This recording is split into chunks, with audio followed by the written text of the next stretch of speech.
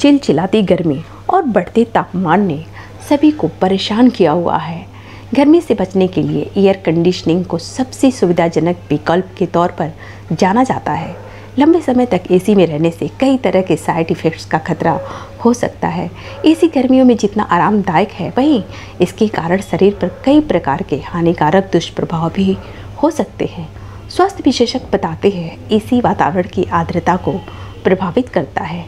इसी में ज़्यादा समय बिताने वाले लोगों में आँखों से संबंधित समस्या विशेषकर ड्राई आइज़ की दिक्कत होने का खतरा सबसे अधिक होता है।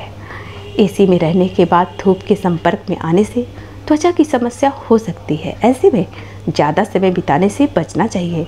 एसी कमरे की नमी को सोख लेता है। एसी में रहने पर पानी पीने की भी कम ज़रूरत महसूस होती है, जो परेशानियों को बढ़ाता है। इसके दुष्प्रभाव से बचने के लिए इस तरह के वातावरण में कम से कम समय तक रहने की कोशिश करें। लंबे समय तक सामान्य से बहुत कम तापमान में रहने से जोड़ों में अकड़न बढ़ जाती है। लंबे समय तक एसी की ठंडी हवा में बैठने से शरीर का तापमान कृत्रिम तरीके से काफ़ी नीचे चला जाता है।